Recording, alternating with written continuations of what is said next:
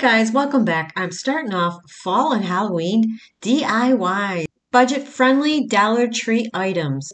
Well, Dollar Tree is putting out so many different decors this year, which is amazing. I cannot believe it's only July and they have Halloween and fall items already. Just giving you time to go there, grab some items, and start making some wonderful DIYs.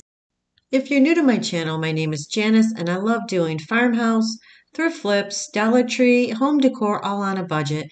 If that interests you, please don't forget to subscribe to my channel. For this project, I'm going to be taking this galvanized cap that I got from Dollar Tree, and I'm going to be using some black felt.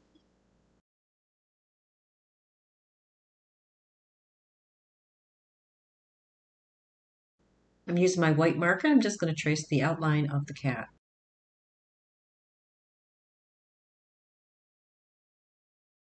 Now I'm just going to use my scissors just to cut this out and then I'm going to use my X-Acto knife because I need to get in between the little areas and also between the eyes. Then I'm going to use my scissors to get in between once I create a little hole.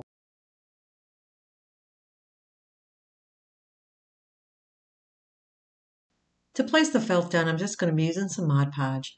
Now, I decided to use the felt because it's too hard to paint galvanized. So this was so much easier in a sense, and I think it comes out great. Now I'm just placing down the felt right on top. I did use some Mod Podge over the top of the cat, and the strangest thing happened when it dried. Some parts of the cat was still like, it had like a white tint to it, which is weird. I never had that happen with Mod Podge.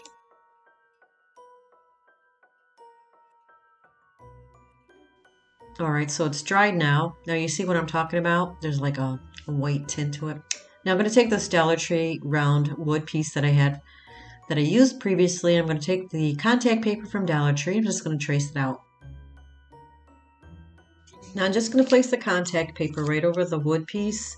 I like this contact paper. I think it's cool. It's perfect for Halloween. I'm just going to make sure there's no air bubbles and just going to go through it a little bit with the squeegee thing that I have and because sometimes you can see creases and wrinkles and stuff.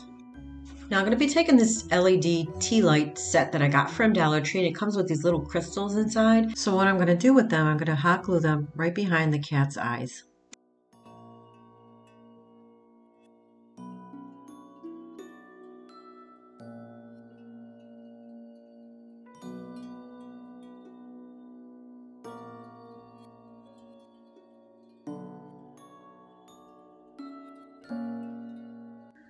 So I'm going to be using these little jingle blocks or quarter blocks, whatever you want to call them.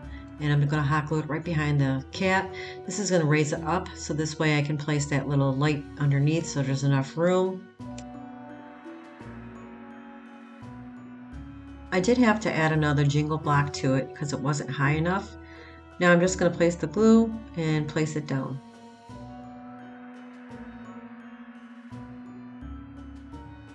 Now I'm just going to hot glue the little tea light right underneath.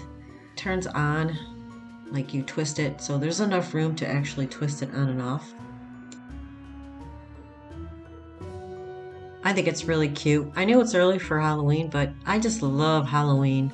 So now I'm going to add a spider to it and I'm going to place a little uh, plastic chain to the top for a hanger.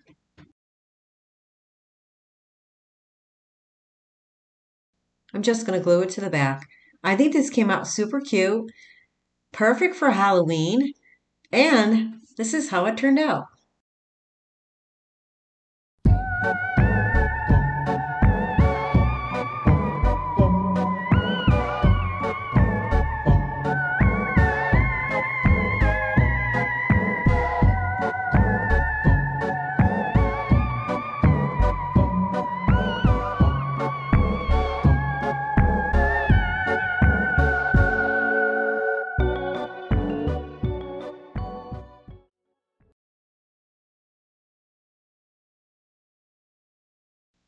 Moving on to fall DIYs. Um, what you're going to need for this DIY is two wood pallets from Dollar Tree.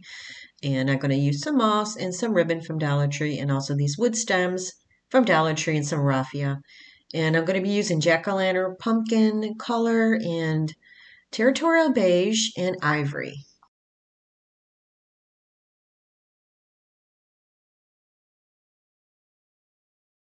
I'm going to start off painting one pallet with the jack-o'-lantern color and then the other pallet is going to be the ivory color.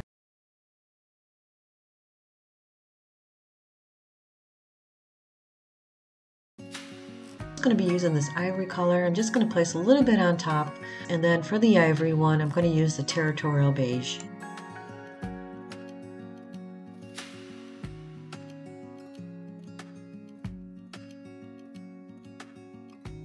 So now I want to make a pumpkin stem, so I'm going to take these wood stems and I'm going to place one right on top. I'm going to be using some raffia. I'm just going to make a little bow and place it right on top. So I'm trying to make these wood pellets look like a actual pumpkin. So I'm going to take some of this moss and I'm going to hot glue it all underneath on both of the wood pellets. Now I'm going to be using Dollar Tree ribbon. I'm going to make two little bows and just place it down with some hot glue. These are really cute to make and they're really easy and all Dollar Tree products so it's really not um, expensive to make. You can use these in a tiered tray or you can simply place them anywhere in your house. They scream fall and Halloween and this is the final results.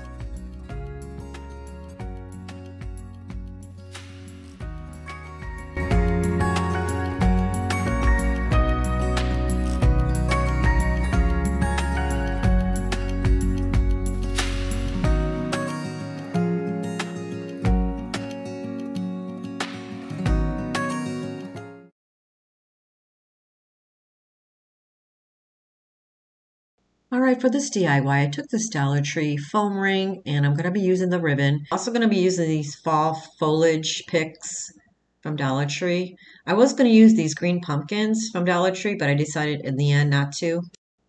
I'm going to start off by wrapping the foam ring with the Dollar Tree ribbon. I'm going to place a little glue just to get it started. Now, if I can make this wreath, anybody can make a wreath. I am not by no means an expert at wreaths at all. So if I can do this, you guys can do this. So as you wrap it, you want to make sure you pull it very tight. You want it snug. You don't want it to like have any bulks or anything. So just hold on to it as you wrap it. I'd add a little bit of glue as I went around. Every like two, three times I went around. And this is how it looks. It looks really great. It's nice and tight.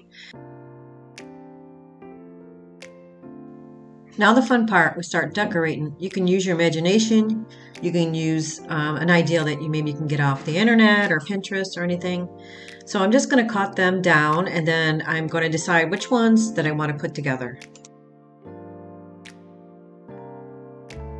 I'm going to start off with the raffia. I'm just going to kind of make a little messy bow-ish and then I'm going to place it down with some hot glue.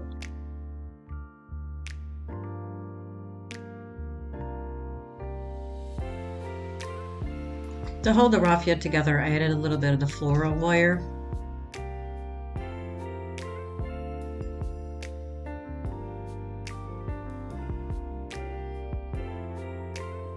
So now I have the, the picks together and I'm just tying it off with the floral wire and I'm adding some raffia in between and then once I have it the way I like it then I'm going to wrap the floral wire around the picks and then actually place them down on the wreath and wrap the floral wire to hold it in place.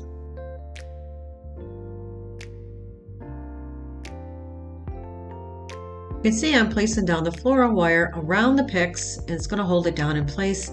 I find this much easier and it's a better hold than using the hot glue gun.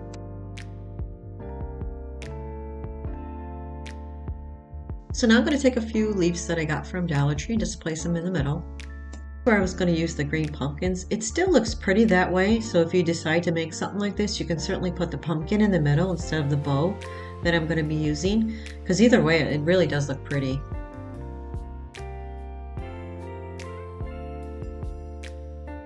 Here I'm just gluing down the leaves and then I'm going to glue down the pumpkin and you get an idea what it looks like. It looks pretty.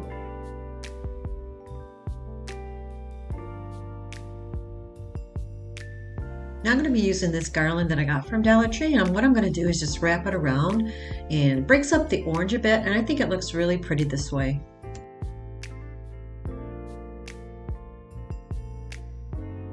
And here's where I replaced the pumpkin with the bow that I got from last year from Hobby Lobby. And I think this came out very pretty, looks perfect for fall.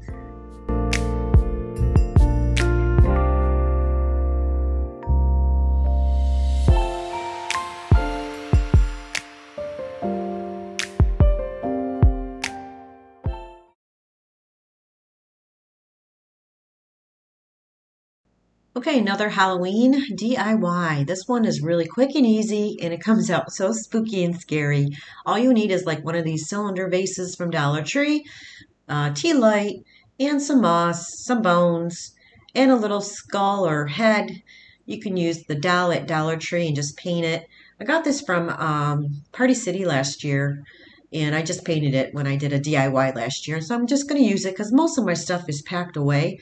So I'm just going to place the tea light inside with the moss. So I'm going to place a few bones inside. I got these from Dollar Tree. I don't know if I mentioned that. Probably did. So I'm just going to place two because it's a tight squeeze in there. But um, I wanted to make it as simple and as spooky as possible. Um, I also got these cockroaches from Party City. Um, and uh, yeah, they look real realistic. So I'm just going to throw a few inside. If you can't find these, or you can always check. I don't think Dollar Tree carries these, but Party City and Michaels, I believe, do around Halloween time. So I'm just going to place a bunch on top. Now, these window pane stickers I got from the Christmas store last year. I never used them. So I'm just going to place two that looks like dripping blood on the rim of the vase. I got to get all my Halloween stuff out. First, I got to pack up my summer stuff before I can bring out my Halloween stuff. But I'm so excited. I can't wait. Halloween's my favorite season, if I never mentioned that before. But anyways, guys, this is how it turned out. I think it came out amazingly spooky.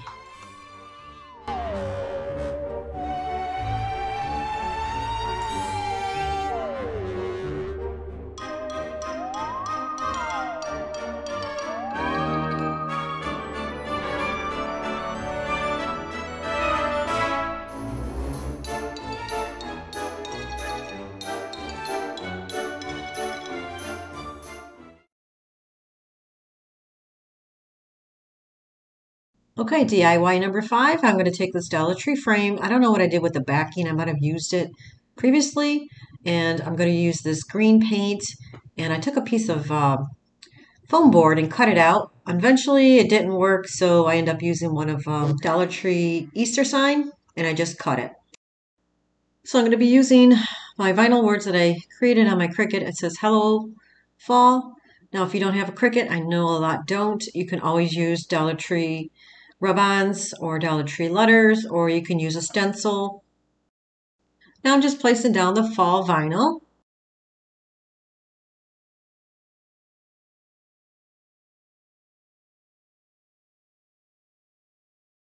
Now I'm placing down the hello vinyl as well. Now, like I said, you know, this is really easy to do. Um, just use Dollar Tree frames or Dollar Tree plaques. You can always try to fit it inside. They're really easy to kind of cut, use your X-Acto knife and just score it. So, I mean, it came out really nice. I like the color for fall. And now I'm just going to hot glue it to the back. And this is how it turned out. I think it came out really pretty.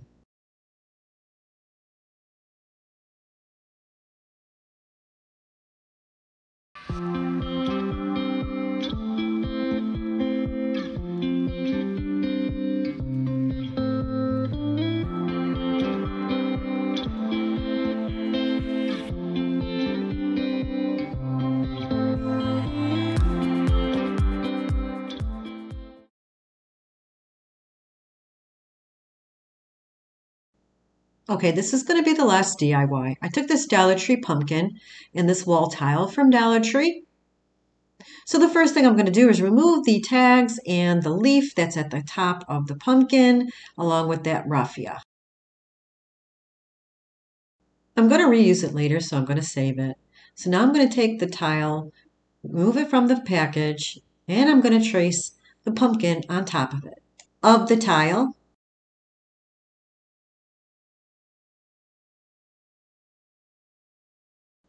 So now you can see the outline of the pumpkin and it just barely made it because it was kind of a wide pumpkin. Now I'm just going to cut it out with my scissors.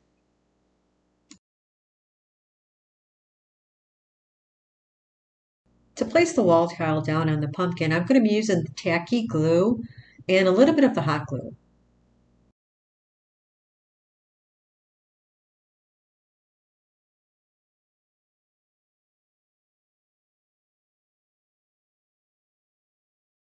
I'm adding a little bit of glue on the rim of the pumpkin. Now I'm going to place the wall tile down.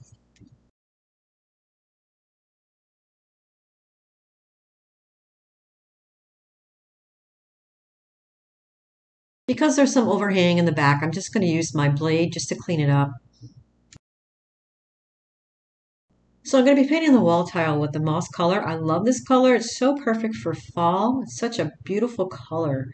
So as you can see, it has like some grooves in it. So once I apply the moss, I will then apply like a vintage white over the top and it comes out so pretty. I love the way this came out.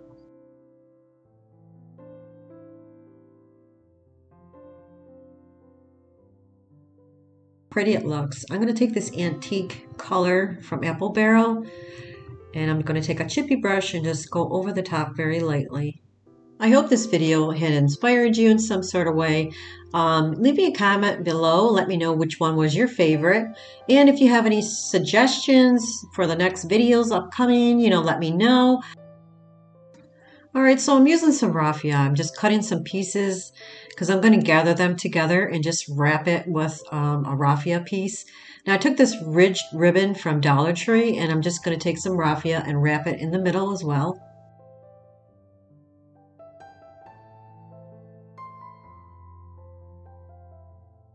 So I'm going to place them right down at the top of the pumpkin.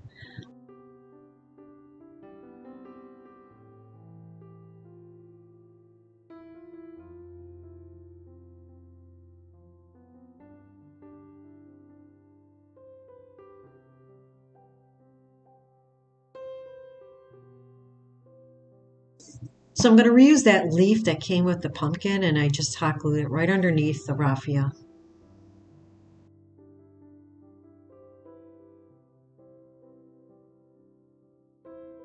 I'm also going to use this Dollar Tree garland and I just kind of like wrapped it around my finger to make it look twirly and I'm just going to hot glue two pieces to the top.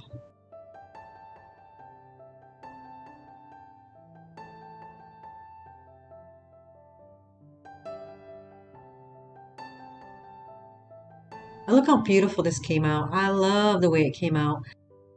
So I wanted to be able to stand up, so I grabbed this piece of wood that I had in my stash. Just going to hot glue the pumpkin to it. Well, that's it for this video, guys. I hope you enjoyed it. And if you did, please don't forget to hit the like button and subscribe. I will see you next time. Bye-bye.